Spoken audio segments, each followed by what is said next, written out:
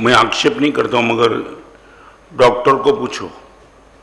अपने वहाँ आने वाले मरीज़ में मरीज़ का दर्शन होता है कि ग्राहक का दर्शन होता है? अपने वहाँ आने वाले मरीज़ को डॉक्टर मरीज़ की तरह से देखेंगे कि ग्राहक की तरह से देखेंगे? मरीज़ नंबर दो में दिखाई पड़ता है, ग्राहक नंबर में एक में दिखाई पड़ता है, इसलिए चाहे वो दवाई करता है, मगर बात तो आखिर आती है मेटल की, पैसा उनसे कितना मिलता है? मैं रिपीट करना चाहूँगा। आउटपुट में आपको सिर्फ़ और सिर्फ़ मेटल चाहिए तो मान लेना, हमारी मेंटल मेंटालिटी है। नंबर दो कैटल मेंटालिटी चाहे वो मच्छर हो, चाहे खटमल हो, चाहे गद्दा हो, चाहे कुत्ता हो, चाहे गाय हो, चाहे बैल हो, वो कहीं भी जाएगा उनको, बस कैटल माने खाने की मानसिकता, पाँच इंद्रिय के विषय की मानसिकता। जाना है संकेश्वर मगर एक चेक करना है कि भोजनशाला की व्यवस्था कैसी, धर्मशाला की व्यवस्था कैसी, मच्छर तो नहीं काटेंगे, गुरुदी के प्रवचन में जाएँगे, मगर बैठने की व्यवस्था तो मिलेगी कि नहीं यह है कैटल मेंटालिटी। ज़िंदगी भर तक हमने किस मेंटालिटी में हमारा जीवन खत्म हो चुका है, वो एक बार चेक कर लेना। नंबर तीन, बैटल मेंटालिटी। कहीं से भी रिलेशन करेगा, वो रिलेशन में बैटल आते ही रहेगा, संघर्ष। बैटल मेंटालिटी दैट मीन्स लड़ाई का संघर्ष का विग्रह का मानस अब मंदिर में जाओ तो भी उसको स्थान समय अनिल डिस्टर्ब नहीं करता है। आँखों की शर्म नहीं। पर्वादिराज परिशन के समय के बीच में मुझे संघर्ष नहीं करना चाहिए, मगर वो दिन भी वो किसी के साथ झगड़ के रहेगा।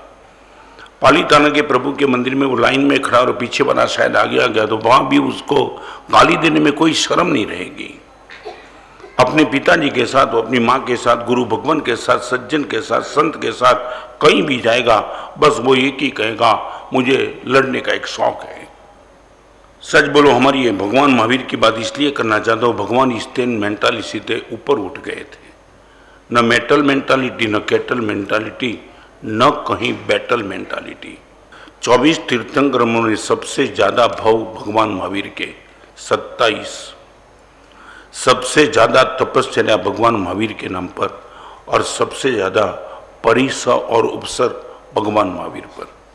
भगवान इन तीनों, यदि मैं सज्जन, संत और परमात्मा के मार्ग पर चलना चाहता हूँ, इस तीन मेंटालिटी से मुझे ऊपर उठना पड़ेगा। न मेटल, न कैटल, न बेटल मेंटालिटी, मगर चौथे नंबर की mentality, settle mentality.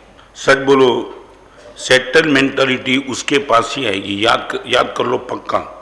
Settle mentality उनके पास आएगी, जिसके नज़र में राइट और रॉन्ग न होकर के गुड एंड बैड रहेगा वो ही सेटल मेंटालिटी पे आएगा। अब इनका अवसर करना है तो कर लेना। परिवार में कहीं भी राइट और रॉन्ग आता है। मैं सच्चा हूँ, मैं सच्ची हूँ।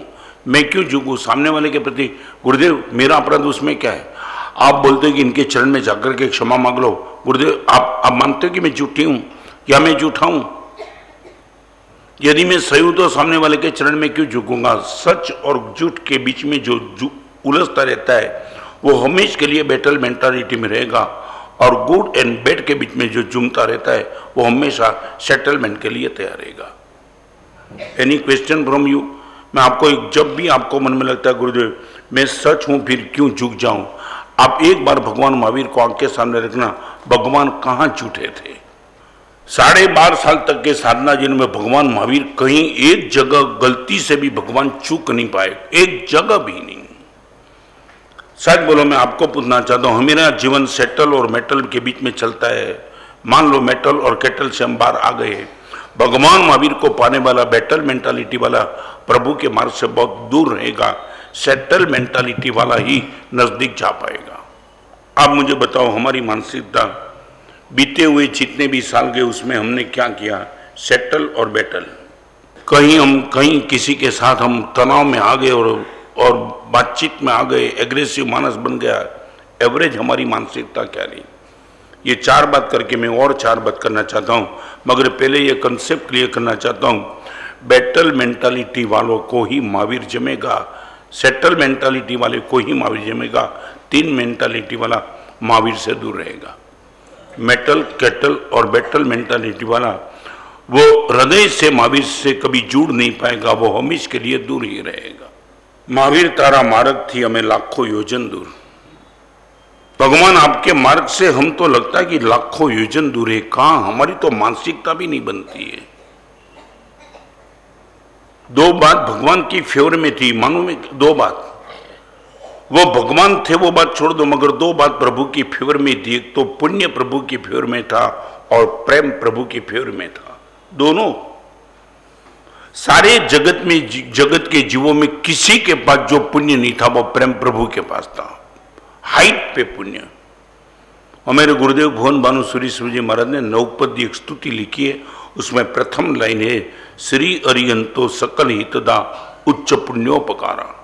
क्लाइमेक्स पर पुण्य परमात्मा का, सारे जगत के जीवों के प्रति प्रेम परमात्मा का टॉप और सारे जगत के जीवों से प्रेम, पुण्य परमात्मा का टॉप मैं बोलता हूँ, पुण्य और प्रेम दोनों शिखर पे फिर भी भगवान ने झुकने की मेंटालिटी बना दी थी ना हमारा पुण्य इतना ज़बरदस्त है, ना हमारा प्रेम ज़बरदस्त है, और फिर बैटल के लिए घूमते घूमते फिरते रहते हम्म?